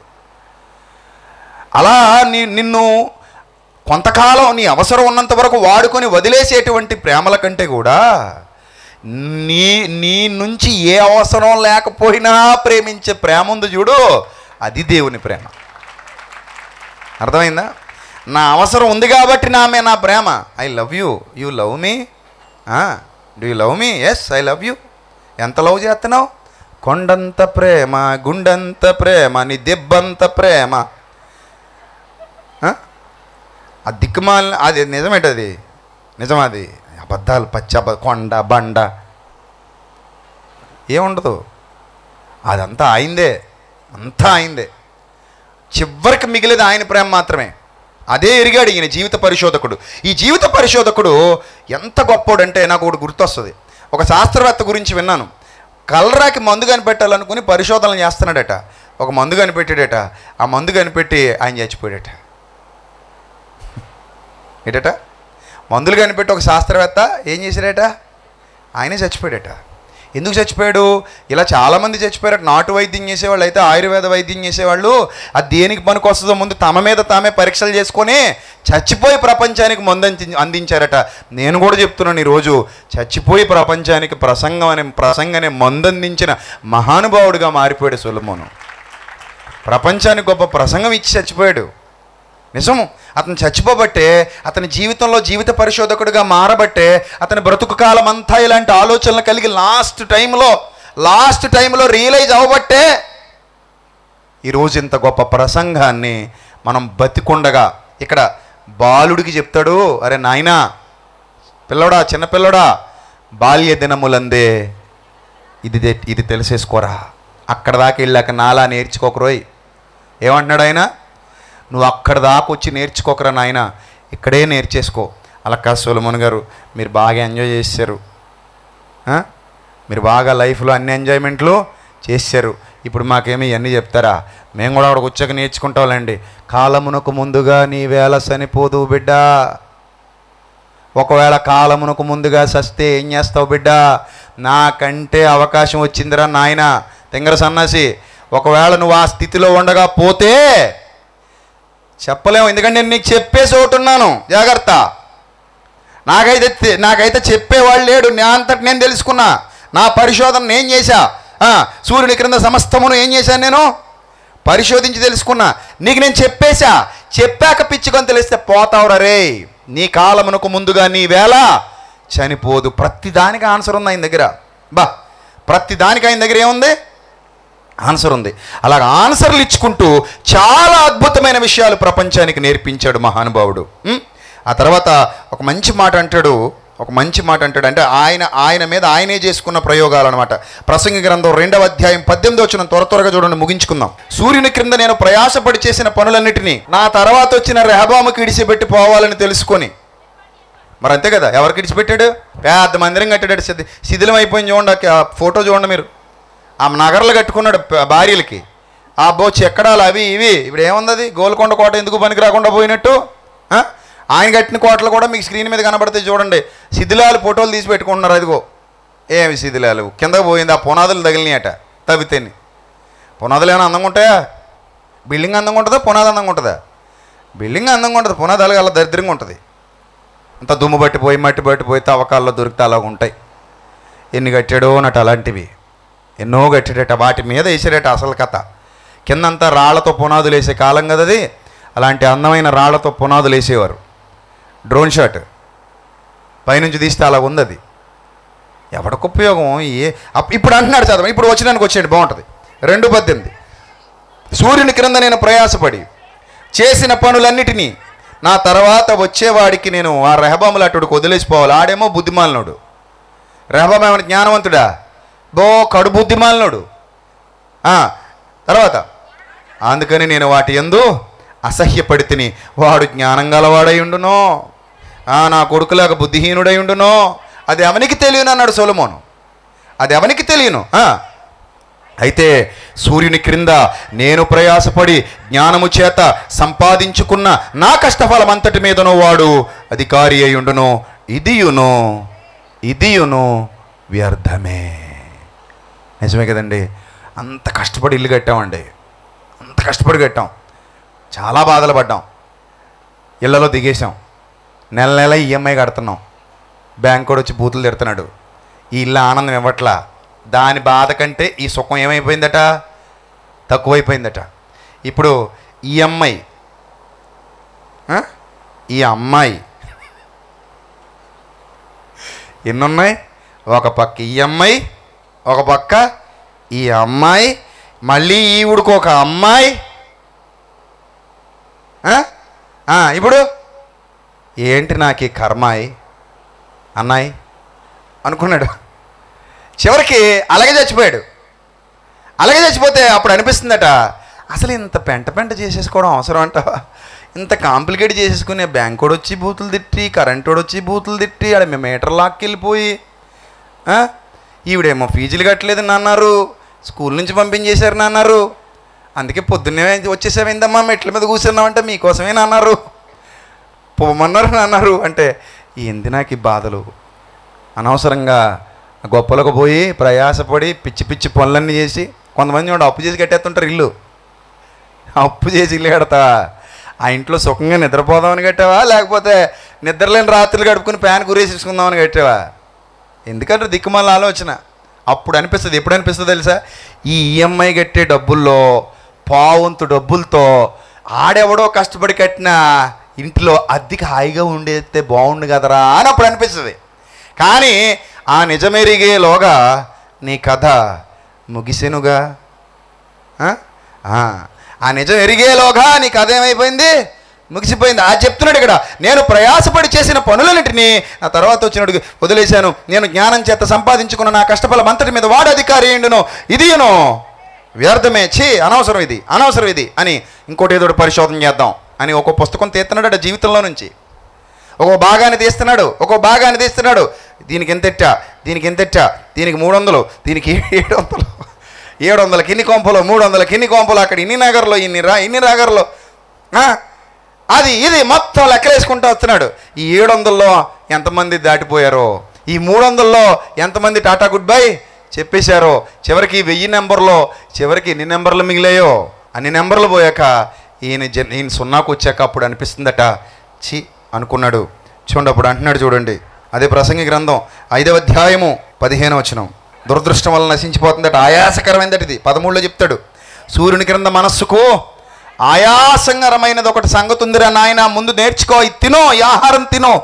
ఆ పదిహేను వచ్చిన వాడు ఏ ప్రకారముగా తల్లి గర్భము నుండి వచ్చెనో ఆ ప్రకారముగానే తాను వచ్చిన వచ్చినట్లే దిగంబరిగా మరలా పోను తాను ప్రయాసపడి చేసుకుని దానిలో ఏదైనాను పట్టుకొని పోడు. నిజం? అంత కష్టపడ్డాం అక్కడ. మందిరం కట్టాం. పదిహేను అడుగులు ఎత్తు మెరకేసాం చుట్టూ కాంక్రీట్ గోళ్ళ కట్టాం. ఐదు లక్షలు పెట్టి గోడ కట్టాక గోడ కూలిపోయింది. మళ్ళీ కట్టాం. తర్వాత ఇంకొక ఐదు లక్షలు పెట్టి బ్రిడ్జి కట్టాక మా ఊళ్ళో ఉన్న దిక్కుమాల రాజకీయ నాయకులు ఆ కుళ్ళో అసూయ మరి ఏం పూనిందో ఏ దయ్యం పట్టిందో దరిద్రులకు తెలియదు కానీ మా ఊళ్ళోనే ఉన్నారు కొంతమంది దరిద్రులు. వీళ్ళొచ్చి వీళ్ళు వచ్చి ఆ బ్రిడ్జి కూల్చేశారు. సరే బాధలే పోయిందిలే అనుకుని మళ్ళీ కట్టాం. మళ్ళీ కడితే ఇప్పుడు అదిగో అలాగా అది ఇది ఇది అది నిలబెడితే ఇంతవరకు అయ్యింది ఇంకా దానికి టైల్స్ లేవని ఒకడు అంటున్నాడు. సీలింగ్ లేదని ఇంకోటి అంటున్నాడు. చుట్టూ గోల కట్టి ఏసీ ఎత్తే బాగుంటుంది కదండి అని ఒకడు అంటున్నాడు. దీనికి నా జీవితం అంతా దానికి పెట్టేసి ఈ బ్యాంకులో ఈఎంఐలు కట్టేసి అంతా కష్టపడి ఇక్కడికి వచ్చి అలా చూస్తూ నేను చచ్చిపోతే అప్పుడు మా విశ్వ కారు వేసుకుని చక్కగా లోపలికి పోయి మేము దేవుని పని చేయాలనుకోవట్లేదండి మా నాన్నగారు ఏదో పిచ్చోడు కాబట్టి అలా చేశాడు కానండి. మేము ఇది బేరం పెట్టేద్దాం అనుకుంటున్నామని అన్నాడు అనుకోండి. పరదేశంలో నేను గుండాగి దబ్బులు పడిపోతాను. చిన్న బతుకు తాగలయ్యా అనిపిస్తుంది అప్పుడు. అనిపిస్తుంది అనుకుంది నిజం చెప్పండి మీరు. అంటే అలాగ అవ్వాలి నా కొడుకు నేను కోరుకోవట్లేదు కానీ ఒకవేళ అది కానీ నాకు తెలి ఏం ఏం చెప్పమండి? భవిష్యత్తు ఎలా ఉంటుందో. రెహబం అలాగ అవుతాడని సులభం అనుకున్నాడు ఏంటండి? అంతే కదా. సో ఎవడు ఎలాగ ఉంటాడో ఎవరికి తెలియదు అది అదృష్టవశము చేతను కాలవశము చేతను అంటాడు మళ్ళీ చివరికి వచ్చేసరికి అది చెప్తాడు. చూడండి ముగింపుకి వెళ్తున్నాను నేను. అలా జరిగినప్పుడు మనం గుండు పట్టుకుని దబ్బును పడిపోయి నా మొహమ్మద్ కాకిరి అట్టయ్య అంటాడు అలా అలా ఉంటుందన్నమాట. ఇది ఓ బతికేనా? దిక్కుమాలిన బతుకు దౌర్భాగ్య బతుకు ఇది ఓ బతికేనా? ఇంత ప్రయాసపడి నేను చేసినదంతయు గాలికి గాలికి నేను దిగంబరిగా వచ్చాను మరలా ఎలా పోయాను? దిగంబరిగానే పోతున్నాను. మొలతాడు కూడా దింపేశారా నాయన బంగారం మొలతాడురా కొనుక్కున్నాను ఎప్పుడో. ఏం మొలతాడట? బంగారం ఓ రోజు ఒక ఆయన ప్యాంట్ పైకి ఎట్టుకున్నాడండి ఎండు మొలతాడు చొక్కా ఎలా పెట్టి తిరుగుతున్నాడు? ఏ ఆ వెండి కనబడాలని. అవును అన్నాను సరదాగా పెళ్ళేది. కనబడుతుందిలే ఎండు మొలతాడు అది ఇప్పే చొక్కా అన్నాను. ఇప్పే ఆ చొక్కా ఇప్పేసి తిరిగంట నేనేం మొలతాడు కనబడాలని అంటలేదు నేను అంటున్నాడు. మా తెలిసినోడే ఇందాక నుంచి ఓ తెగెత్తేసి తిరుగుతున్నావు. అది తెంపేస్తారా నాయన నువ్వు తెచ్చినప్పుడు ఉంచుతారు అది? వెండిది ముందే తెంపేస్తారు రోయ్? ఇంకా మామూలు దారం మొలతాడని వదిలేస్తారు. ఇది ఎవడికి కావాలా? చీకిపోయింది సబ్బునూరకు పట్టేసి. మాకెందుకని వదిలేస్తారు. కానీ ఏది తెంపేస్తారు? నువ్వు వెండి బంగారం మొలతాడు వేసుకుంటే మాత్రం ఖచ్చితంగా ఏం చేస్తారు? తెంప వేసుకుంటే వేసుకో కానీ వాటిని చూసి అతిశయించుకో. ఇదేదో జీవితం అన్నట్టు నా మొలతాడు నా మెడతాడు అనుకో. అర్థమైందా? ఏదో రోజు తాడేసి లాక్కుపోతారు మనల్ని కూడా కుక్కలు లాక్కుపోయినట్టు. ఆ రోజు ఇవన్నీ పోతాయి. అక్కడికి వెళ్ళాక ఈయన రాస్తున్న మాట ఏది చేతబట్టుకొని పోడు. అతడు వచ్చిన ప్రకారమే మరలా పోతాడు. గాలికి ప్రయాసపడి నానా పాటలు పడి ఆ ఇన్స్టాల్మెంట్లు చేసి ఆ ముంతలు అమ్మి ఆ ఫైనాన్స్ బిజినెస్లు చేసి లేకపోతే ఈ వ్యాపారాలు చేసి ఆ కొట్లు చుట్టూ తిరిగి అన్ని పాటలు వ్యవసాయం చేసి బత్తాలు తెచ్చుకుని ఇంట్లో పోగేసుకుని రాత్రులు అన్నం తింటం మానేసి ఆ ఫ్యాక్టరీలో పనులకు వెళ్ళి నానా పాటలు పడి నానా పాటలు పడి చేసిన తర్వాత కొడుకో కూతురో తగలడతారు మనకి. తండ్రి సంపాదించింది మొత్తాన్ని ఈడ అనకొండ వదినట్టు ఉదేస్తుంటాడు ఈ తండ్రి గుండె ఆగిపోతుంటుంది. తల్లి గుండె ఆగిపోతుంటుంది. ఓరి దరిద్రుడా రే ఎన్ని పాటలు పడ్డానరా ఈ సంపాదించడానికి ఎన్ని కష్టాలు పడ్డావురా బాబు ఎన్ని కన్నీళ్ళు అనుభవించావురా ఎన్ని నిద్రలేని రాత్రులు గడిపావురా దరిద్రుడా ఇలా తగిలేసేస్తున్నావుట్రా నువ్వు. నా మా కడుపు నెట్ట పుట్టావురా నువ్వు. మా కడుపు నెట్ట పుట్టావే బాబు నువ్వు. అని ఏడుస్తూ చచ్చిపోతారు కొంతమంది. బెంగెట్టుకు చచ్చిపోయిన తల్లిదండ్రులు చాలామంది ఉన్నారు. అప్పుడు అంటాడు అప్పుడు మనకు కూడా ఎవరు గుర్తొస్తారు? మళ్ళీ చివరికి మనం ఎక్కడ ఆగాలి? అరవై ఆరు పుస్తకాల్లో లాస్ట్ ప్లేస్ ప్రసంగే గుర్తుపెట్టుకో. ముందే వచ్చి స్టాపులో నిలబడి బాగుపడతావు. అరవై ఆరు పుస్తకాలు చదివిన తర్వాత చివరికి వచ్చి ఎక్కడ నిలబడాలి నువ్వు? ఇక్కడే నిలబడాలి. This is your last book కేవలం సొలిమోన్ గారు లాస్ట్ బుక్ కాదు ఇది. ఇక్కడ కూర్చున్న మనందరి చెట్టు చివరి పుస్తకం ఏది? ప్రసంగే చెట్ట చివరి వచనం కూడా అందులో నుండే చదువుతాడు. ఏ పాస్టర్ అయినా కావాలంటే ఎతికి చూసుకో. ఏం చదువుతాడు? మొన్నైనది వెనుకటి వలె మొన్నైపోవును.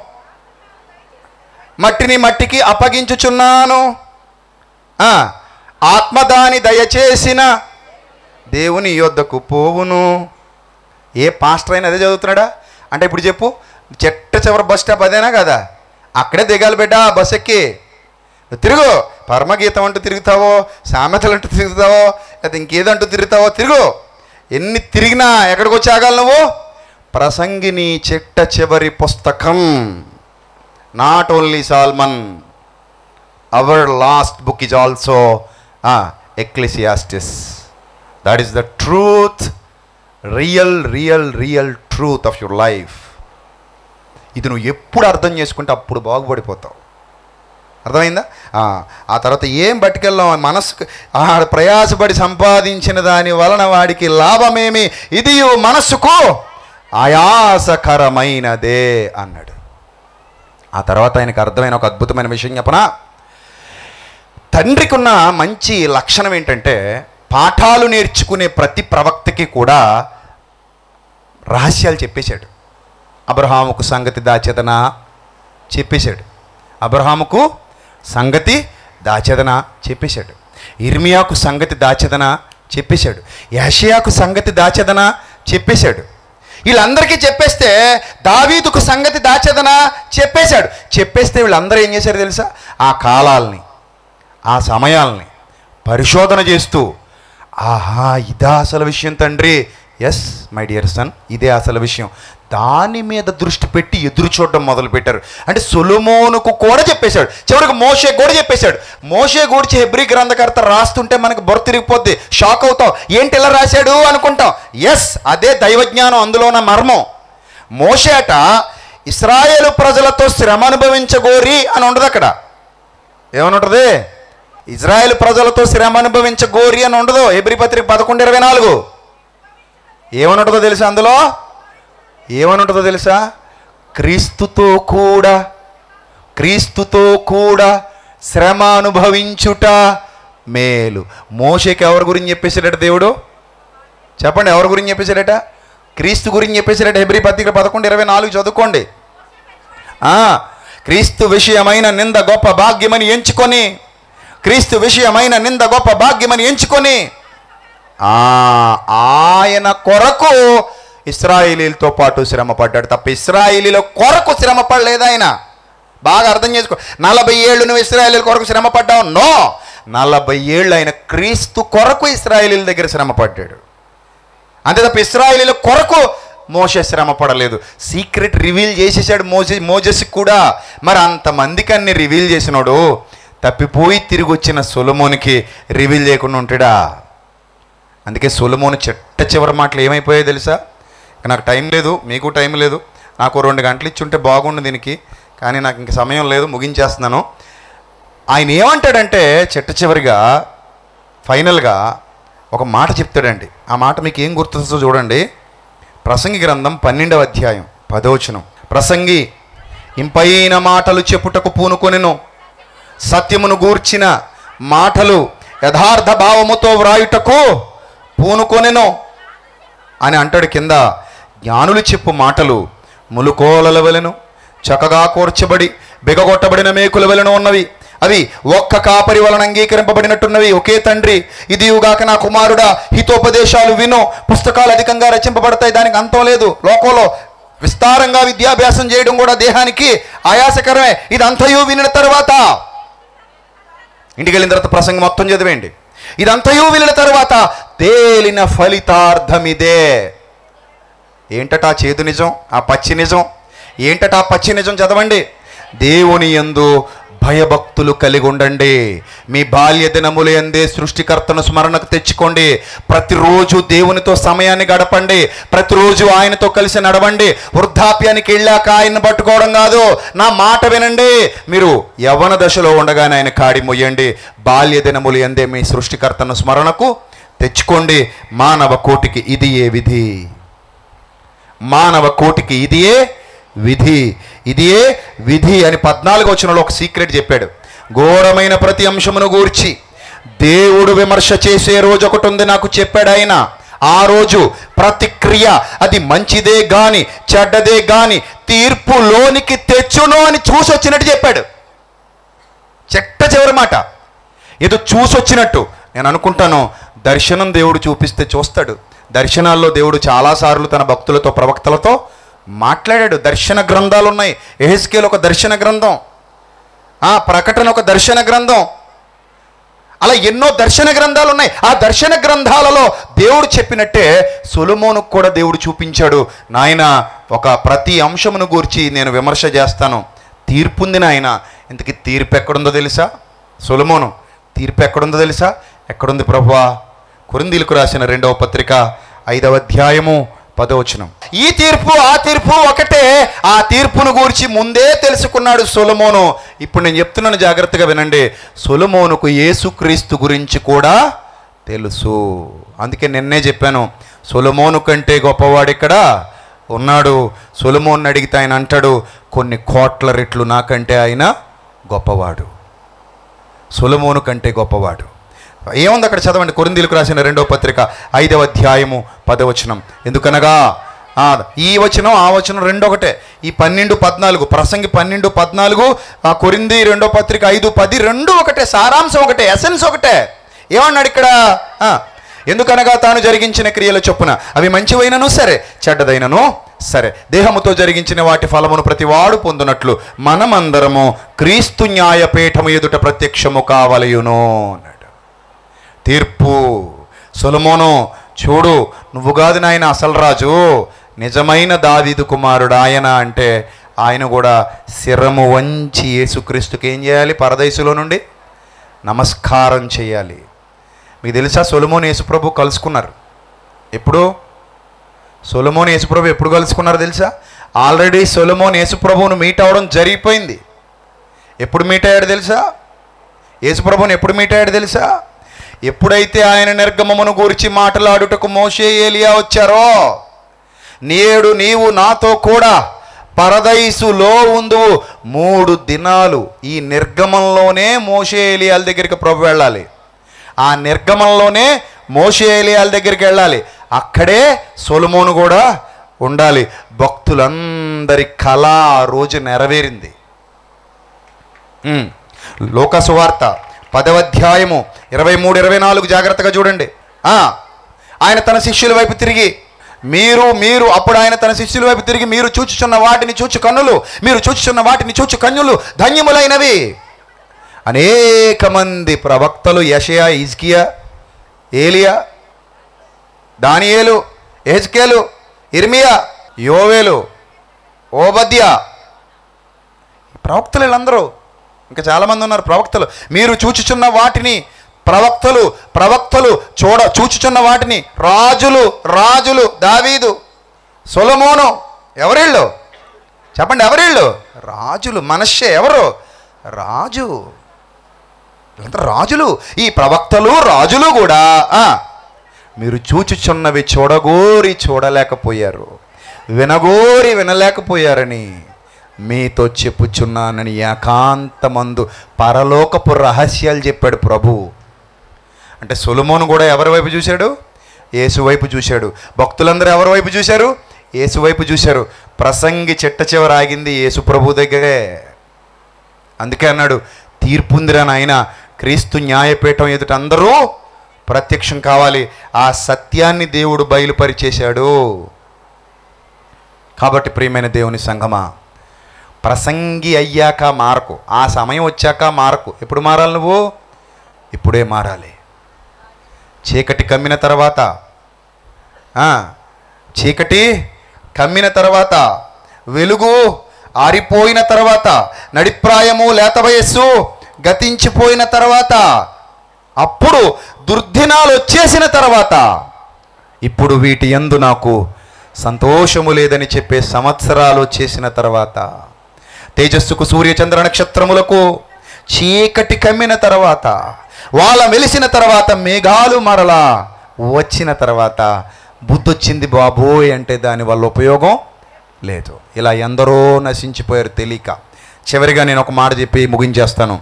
నా జీవితంలో నాకు చాలామంది స్నేహితులు ఉండేవారు. బెస్ట్ ఫ్రెండ్స్ కూడా ఉండేవారు అందులో. అందరం కలిసి తిరిగేవాళ్ళం. అందులో ముఖ్యంగా నా స్నేహితుల్లో కొందరు నా చేతుల్లో చనిపోయిన వాళ్ళు ఉన్నారు. నా చేతుల్లో చనిపోయిన వాళ్ళు ఉన్నారు. ఆ ఘట్టాలు నన్ను ప్రభువులో ఇంకా బలపరిచాయి. అప్పటికి నేను వాళ్ళతో చెడిపోయి తిరిగిన వాడిని నేనేమి ఉత్తమ పురుషుణ్ణి కాదు. ఈ ఊర్లో ఎవరిని అడిగినా నా చరిత్ర చెప్తాడు. Vijay Prasad Reddy's life is a open book not a secret book. నా దగ్గర సీక్రెట్స్ ఏముండవు. ఏదన్నా ఓపెనే కొండ బద్దలు కొట్టేయడమే. సో అలాంటి జీవితంలో నుంచి నేను ప్రభు దగ్గరికి వచ్చిన తర్వాత నా చేతుల్లో చనిపోయిన నా స్నేహితులు నాకు పాఠాలు నేర్పించారు. ఇప్పుడు మీరు చూడబోయే పాటలోని భావం కూడా అలాంటిదే. నా అనుభవాలు. అందుకే అది కథ కాదు నిజ సంఘటనల సమాహారం with including including Ecclesiastes. Including the essence of Ecclesiastes. దేవుని జ్ఞానాన్ని ఇనుమడింపజేసి అంటే కొన్ని కొన్ని ఏమైనా చిన్న చిన్ని షూటింగ్ మిస్టేక్స్ ఉంటే మీరు భరించేసి పాటను పాటలా చూడండి పాత్రలు చూడకండి భావాలు చూడండి నా జీవితంలో జరిగిన సంఘటనలను మిళితం చేసి నా చేతిలో చనిపోయిన నా స్నేహితుల జీవితాలను అవగతం చేసుకొని ఇలాంటి బ్రతుకు బ్రతుకుతున్న యవనస్తులు చాలామంది ఉన్నారు యవనస్తురాళ్ళు చాలామంది ఉన్నారు వృద్ధులైపోయిన తర్వాత ఏడ్చినా ప్రయోజనం ఉండదు వెనక్కి తిరిగి రాలేరు. మీ జీవిత పరమార్థాలు వాటి ఫలితార్థాలు మీరు బ్రతికుండగానే తెలుసుకోవాలి. లోకమంతయూ సంపాదించుకొని తన ప్రాణమును పోగొట్టుకుని ఎడల వానికేమి ప్రయోజనం? ఆలోచించండి. ఒకడు లోకమంతయు సంపాదించుకొని వాని ప్రాణమును పోగొట్టుకుని ఎడల వానికేమి ప్రయోజనం? ఇంకో మాట చెప్పనా? ప్రసంగమే చేయొచ్చు మాట కాదు దాంతో ప్రసంగమే చేయగలను నేను. అదేంటంటే ప్రసంగి మొత్తాన్ని నూరి. ప్రసంగి మొత్తాన్ని నూరి రుబ్బి బయటికి తీస్తే పోత పోస్తే అలాంటి ఆకారం ఎక్కడైనా భూమి మీద కనబడద్దా అని ఎదురు చూస్తే కనబడిన ఒకే ఒక్కడు ఈ భూమి మీద సాక్షాత్తు మన రక్షకుడైన యేసుక్రీస్తు. ఇది పచ్చి నిజం. ప్రసంగి ఎలా ఉండాలని కోరుకున్నాడో అలా బతికి చూపించాడు. యవ్వన దశలో మళ్ళీ రాత్రి చెప్పాను యవ్వన దశ. ఒక అందమైన అమ్మాయిని చూపిస్తే ఆయన రియాక్షన్ ఎలా ఉంటుందో కూడా రాత్రి చెప్పాను మీకు. అందుకే సమరయ స్త్రీకి యేసుప్రభు భర్త అని పిచ్చి కోతలు కూసిన వాళ్ళకి పిచ్చి సినిమాలు తీసిన వాళ్ళకి ఎప్పుడో కౌంటర్ ఇచ్చాను.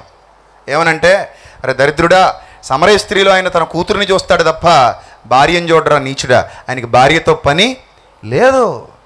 కలిగి ఉన్నది ఇది ఆయన లేకుండా? కలగలేదు. వైద్యుడు ఆపరేషన్ చేసేటప్పుడు శరీరం మొత్తాన్ని చూస్తాడట. వైద్యుడు కనబడనదంటూ ఏమీ లేదట నీ దేహంలో. నీ భర్త చూడనివి కూడా వైద్యుడు చూస్తాడట. కానీ ఏ స్థానంలో ఉండి చూస్తాడు అక్కడ వైద్యుడు? ఏ స్థానంలో ఉండి చూస్తాడు? తండ్రి. తండ్రి స్థానంలో ఉండి చూస్తాడు. అలాగే యేసుక్రీస్తు సమరయ స్త్రీని తండ్రి స్థానంలో ఉండి చూశాడు తప్ప తండ్రి స్థానంలో ఉండి ఆదరించాడు తప్ప అమ్మా అని పిలిచాడు. అమ్మా! కూతురు ఆయనకి. ఆవిడే కాదు మీరందరూ మనం అందరం ఆయనకి బిడ్డల వంటి వారమే. సహోదరులు అన్నాడు మనల్ని. స్నేహితులు అన్నాడు మనల్ని. పిల్లలారా అన్నాడు. అలా సంబోధించాడు ఆయన. ఎందుకంటే కలిగి ఉన్నది ఏది? ఆయన లేకుండా కలగలేదు. ప్రభువుకు కూడా కళంకం ఆపాదించడానికి పాపం మూటగట్టుకోవడానికి బయలుదేరుతున్న ఈ దుష్ట సమాజానికి మెలకువ వచ్చునుగాక. ఆ వారి కన్నులకు పూసినటువంటి ఆ మసి రాలిపోయి వారి మనోనేత్రములు వెలిగింపబడునుగాక.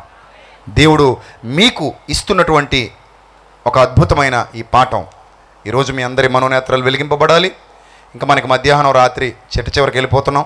మంచి ఆత్మీయ ఆహారంతో వెళ్తున్నాం. ఏమా మంచి ఆత్మీయ ఆహారం. ఈ ఆహారానికి నాకు తెలిసి ఎవరు ఇబ్బంది పడరు. ఇబ్బంది పడ్డారంటే ఆయన చెప్పినట్టు మీలో దెయ్యం ఉందని అర్థం.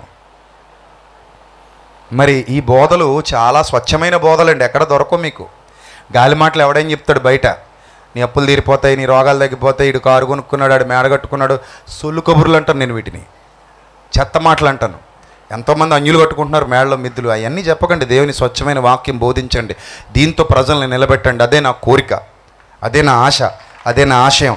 అందుకే ఈ వేలాది రూపాయల ఖర్చు ఈ లక్షలాది రూపాయల ఖర్చు ఎంతోమంది పిల్లల కష్టం ఎంతోమంది పిల్లల శ్రమ. నేను ఈరోజు చెప్తున్నాను నా సంఘ బిడ్డలకి నాకు సెమినార్ కొరకు ఒక్క రూపాయి సహకరించినా సరే మీ అందరికీ చెప్తున్నాను గుర్తుపెట్టుకోండి ప్రభువునందు మన ప్రయాస వ్యర్థం కాలేదు. దేవుడు మీరు చేసిన దానికి చక్కటి ప్రతిఫలం ఇచ్చునుగాక. ఆమెన్. మీరు చూపిన ప్రేమను మరచుటకు దేవుడు అన్యాయస్తుడు. కాదు. ఈ సెమినార్లో ఒక్క రూపాయి నీది పాలిభాగం ఉన్నా సరే దేవుడు నీకు తగిన ప్రతిఫలం ఇస్తాడు. ఎందుకంటే అంత గొప్ప సత్కార్యాన్ని మనం చేస్తున్నాం ముగిస్తున్నాం ఈరోజు. పాట చూద్దాం. దేవుడు ఈ పాట ద్వారా మీకు వివేకాన్ని కలిగించాలని నేను కోరుతున్నాను.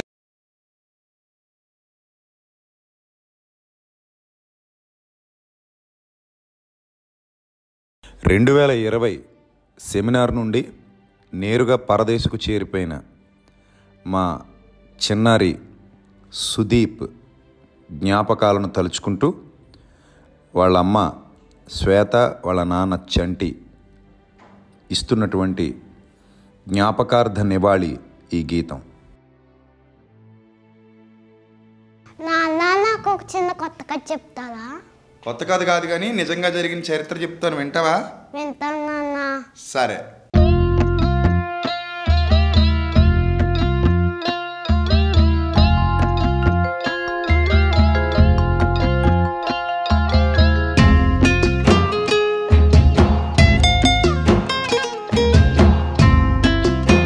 ఏ తాత లేలే నేను న్యూ ఇయర్ పార్టీ చేసుకోవాలి.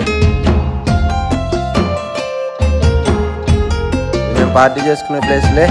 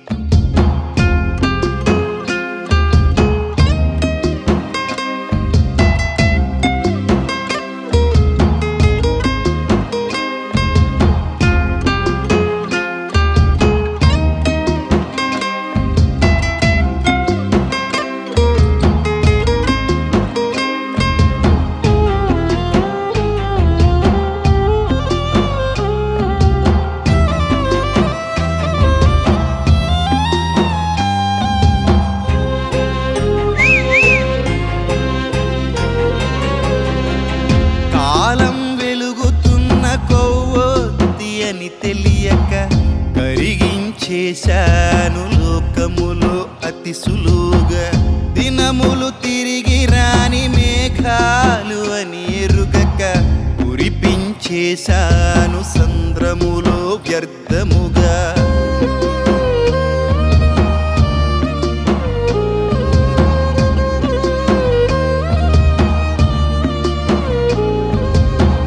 కాలం వెలుగుతున్న కొవ్వొత్తి అని తెలియక కరిగించేశాను లోకములో అతి సులువుగా.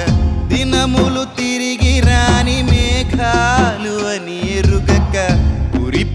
చేశాను సంద్రములో వ్యర్థముగా దేహము ముడతలుగా నడకలు తడబడగా కన్నులు కనబడక కాటికి త్వరపడగా ఊపిరి భారముగా అందరూ దూరముగా మంచమే మిత్రుడిగా రోగము ఆప్తుడిగా సంతోషము దొరకని సంవత్సరాలెదురవగా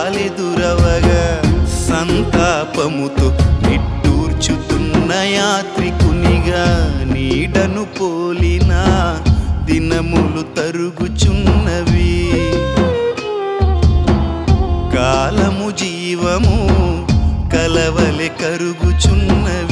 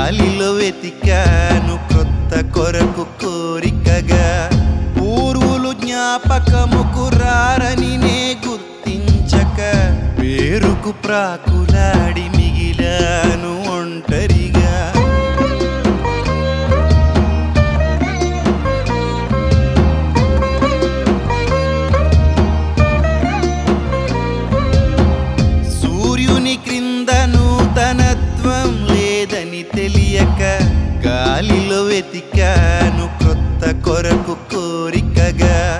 పూర్వులు జ్ఞాపకముకు రారని నే గుర్తించక. పేరుకు ప్రాకులాడి మిగిలాను ఒంటరిగా. హృదయము త్వరపడగా కోరిక బలపడగా. బ్రతుకును దాటి రాగా ఆయాసం దుఃఖమేగా వెనుకకు చూసుకొనగా అంతా వ్యర్థమేగా నిజమెరిగేలోగా నా కథ ముగిసెనుగా. మన్నైనది మరల మన్నుకు చేరేలోగా మహిమను వెదుకుటై జీవిత పరమార్థముగా నీడను పోలిన దినములు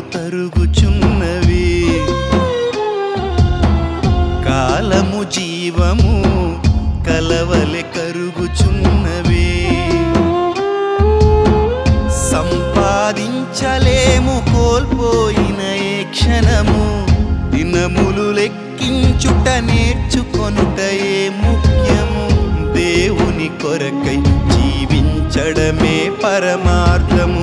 మానవ కోటికి ఇది ఏ విధి అని ఫలితం దినములు